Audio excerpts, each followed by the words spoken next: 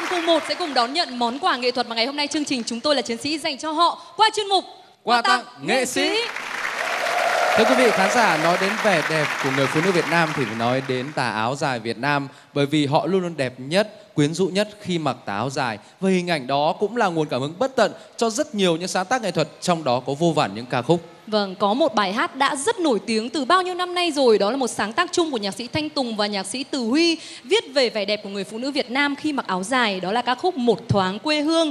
Đồng chí Bảo có nhớ những câu hát rất quen thuộc như là Tung bay tà áo tung bay, xôn xao một trời nắng đỏ. Tung bay tà áo tung bay, áng mây trắng đầu ngọn gió. Không ai mà là không thuộc những cái ca từ đó. Còn thời nay thì các nhạc sĩ trẻ họ cũng vẫn vinh danh hình ảnh đó với những ca khúc mới hơn. Và tôi đã muốn nói đến một sáng tác của nhạc sĩ Nguyễn Hồng Thuận ca khúc Sinh tươi Việt Nam sẽ xuất hiện ngay bây giờ trên sân khấu của chúng tôi là chiến sĩ với sự thể hiện của các cô gái xinh đẹp tới từ nhóm Pha Lê Xanh.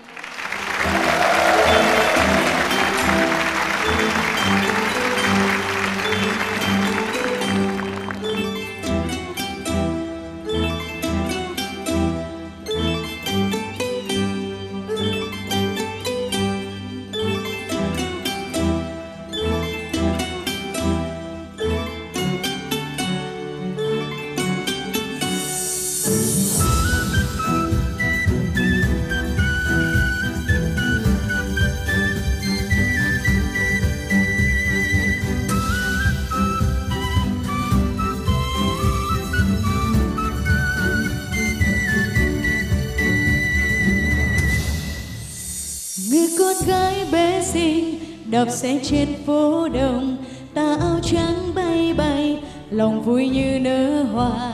Em mỉm cười xinh tươi, ôi không trời hai mươi, niềm vui tương lai đón chờ em.